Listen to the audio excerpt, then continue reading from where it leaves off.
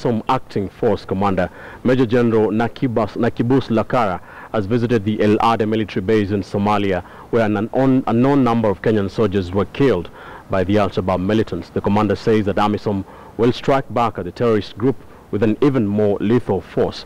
KTN's Moremi Mwangi now reports.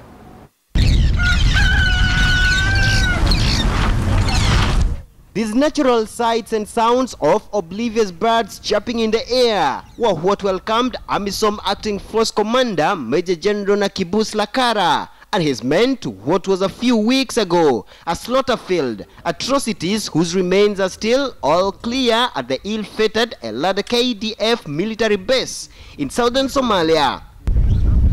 But General Nakibus now says the strike, which is by far the worst Al-Shabaab hit at AMISOM forces in the recent past, has now more than ever before renewed his soldiers' resolve to get rid of the Al-Shabaab. This is the time to ensure that that support is consolidated, that we are invigorated, we are emboldened to pursue this enemy to wherever he goes. This visit was aimed at assessing the general situation of the base and in particular to make an appraisal on the ongoing recovery operations by AMISOM troops whom he says retook the base after the attack.